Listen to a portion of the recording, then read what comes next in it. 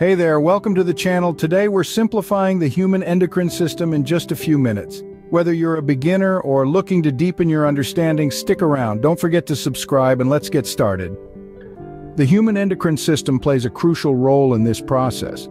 This complex network of glands and hormones regulates everything from growth and development to mood and metabolism. It's like a symphony conductor coordinating various sections of the orchestra to create a harmonious performance. Now let's talk about glands. They come in two types, endocrine and exocrine. Endocrine glands secrete hormones directly into the bloodstream, while exocrine glands release their secretions externally or into ducts.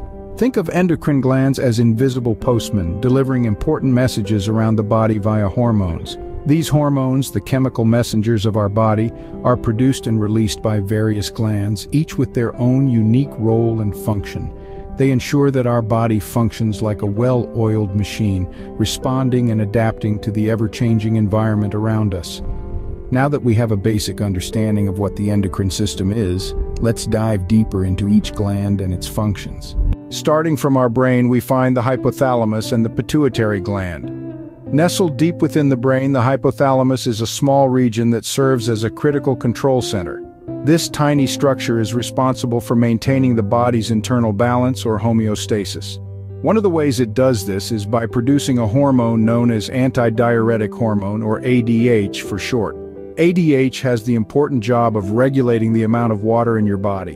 When you're dehydrated, for instance, the hypothalamus cranks up ADH production, instructing your kidneys to conserve water. Just below the hypothalamus we find the pituitary gland. About the size of a pea, this gland is often referred to as the body's master gland because it controls the activities of many other hormone-secreting glands. The pituitary gland secretes several hormones, each with its unique function. First up we have growth hormone, or GH, which does exactly what you'd guess. It helps regulate body growth and development, but it doesn't stop there. GH also plays a role in body composition, body fluids, muscle and bone growth, and even sugar and fat metabolism. Next, there's thyroid-stimulating hormone, or TSH, which signals the thyroid gland to produce and release thyroid hormones, crucial regulators of our body's metabolism. Follicle-stimulating hormone, or FSH, and luteinizing hormone, or LH, are also released by the pituitary gland. These hormones are essential for the proper functioning of the ovaries in women and the testes in men, playing crucial roles in reproduction. Finally, we have prolactin, which primarily helps women produce milk after childbirth. But that's not all. Research suggests that prolactin may also play a role in the immune system. So, as you can see, these two small structures in our brain, the hypothalamus and the pituitary gland, have a massive impact on our bodies. They help regulate everything from growth and development to reproduction and even how we respond to stress. The hypothalamus and pituitary gland, although small, play a huge role in our endocrine system. Moving down our body, we come across the thyroid gland and the islets of Langerhans in the pancreas. Nestled in the lower front of our neck, the butterfly-shaped thyroid gland is hard at work. This little gland is responsible for producing a hormone known as thyroxine. Now thyroxin is a bit of a multitasker. It plays a pivotal role in our body's metabolism, heart and digestive function, muscle control, brain development, and even our bone maintenance. It's like the orchestra conductor of our body, ensuring everything runs in rhythm and harmony. But what happens when the thyroid gland doesn't produce the right amount of thyroxin? Well, too little thyroxin can lead to conditions like hypothyroidism, causing fatigue and weight gain. On the other hand, too much thyroxine can result in hyperthyroidism, leading to rapid heartbeat and weight loss, so the balance is crucial when it comes to thyroxine. Now let's shift our focus to the pancreas. Hidden within this organ are clusters of cells known as the islets of Langerhans. These little islets have a significant task. They produce two vital hormones, insulin and glucagon. Insulin, like a key, opens the door to our body's cells, allowing glucose to enter and provide the energy we need. On the other hand, glucagon is like the backup generator. When our blood sugar levels drop, glucagon signals the liver to release stored glucose, ensuring our body's energy levels remain stable. But just like with thyroxine, balance is key with insulin and glucagon. Too little insulin can lead to high blood sugar levels, a condition known as diabetes. Conversely, too much insulin can cause hypoglycemia, where blood sugar levels drop dangerously low. So whether it's the thyroid gland controlling our metabolism or the islets of Langerhans managing our blood sugar levels, these elements of our endocrine system are tirelessly working to keep us balanced and healthy. As we can see, the thyroid gland and the islets of Langerhans play a significant role in regulating our metabolism and blood sugar levels. Next, we have the adrenal glands and the reproductive glands, which include the ovaries in females and testes in males. Let's start with the adrenal glands. These are pyramid-shaped organs perched atop each kidney like a tiny hat for your kidneys. Each adrenal gland comprises two parts, the adrenal cortex and the adrenal medulla. The adrenal cortex secretes a hormone called aldosterone, which plays a crucial role in maintaining the balance of salt and water in our bodies. This in turn helps regulate our blood pressure. The adrenal medulla, on the other hand, produces adrenaline, a hormone that prepares our body for a fight or flight response during stressful situations. When you feel your heart pounding before an important event, that's adrenaline at work. Now let's move on to the reproductive glands, the ovaries and the testes. These glands are responsible for producing hormones that regulate sexual development and reproduction. In females, the ovaries are located in the lower abdomen on both sides of the uterus. They produce two main hormones, estrogen and progesterone.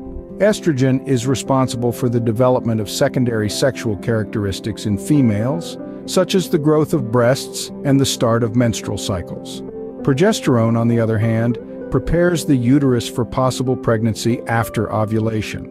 In males, the testes are located in the scrotum, just below the penis. They produce testosterone, the hormone that triggers the development of secondary sexual characteristics in males, such as the growth of facial hair, the deepening of the voice, and the increase in muscle mass. Testosterone also plays a key role in sperm production. In essence, these hormones from the adrenal and reproductive glands are the conductors of the orchestra that is our body. They ensure that our bodies respond appropriately to stress, maintain a healthy balance of water and salt, and develop sexual characteristics necessary for reproduction. These glands not only help us respond to stress, but also play a vital role in reproduction and sexual characteristics. You might wonder how these hormones stay in balance. That's where the concept of negative feedback comes in. It's a bit like the thermostat in your house. When the temperature drops, the heat kicks on and warms the house. When it gets too warm, the heat turns off. This is a negative feedback loop and the body uses a similar mechanism to keep hormone levels in check. Let's look at the thyroid-stimulating hormone, or TSH, and thyroxin. The hypothalamus and pituitary gland monitor the level of thyroxin in the blood. When thyroxin levels drop, the pituitary gland releases more TSH, which stimulates the thyroid to produce more thyroxin. Conversely, when thyroxin levels are high, the pituitary gland cuts back on TSH production, slowing thyroxin production. But what happens when this balance is disturbed? Well, an overactive thyroid or hyperthyroidism can cause symptoms like rapid heart rate, weight loss, and nervousness. On the other hand, an underactive thyroid or hypothyroidism might lead to fatigue, weight gain, and depression. Now let's look at insulin and glucagon, two hormones produced by the pancreas. After a meal, your blood sugar levels rise. In response, the pancreas releases insulin, which helps cells absorb the sugar. As blood sugar levels drop, insulin production decreases. But when blood sugar levels get too low, the pancreas releases glucagon, which signals the liver to release stored sugar back into the bloodstream. However, an imbalance in this system can lead to diabetes mellitus. If the body doesn't produce enough insulin or cells become resistant to insulin, blood sugar levels can remain high, leading to type 1 or type 2 diabetes. So you see, the body is a symphony of complex interactions constantly striving for balance. And the conductor of this symphony is the negative feedback mechanism, ensuring that hormone levels are just right, not too high and not too low. It's a delicate dance, but one our bodies perform every day, every hour, every minute. The negative feedback mechanism ensures that our body maintains a state of equilibrium. As we've seen, the endocrine system is a complex network of glands secreting hormones that regulate various body functions. It's a marvel of nature, with each gland playing a significant role in maintaining the harmony of our body. From the hypothalamus, the master regulator, to the pituitary gland, dubbed the master gland, each has a unique function. The thyroid gland regulates metabolism, while the islets of Langerhans in the pancreas control blood sugar levels. The adrenal glands help us respond to stress and the reproductive glands, well, they ensure the continuation of our species. We also delved into the concept of negative feedback mechanisms, showing how our body maintains a delicate balance through hormones like TSH and thyroxine, insulin, and glucagon. Imbalances in these can lead to conditions like thyroid disorders and diabetes. Understanding our endocrine system helps us appreciate the intricate balance that keeps our body functioning optimally. Until next time, keep exploring and keep learning.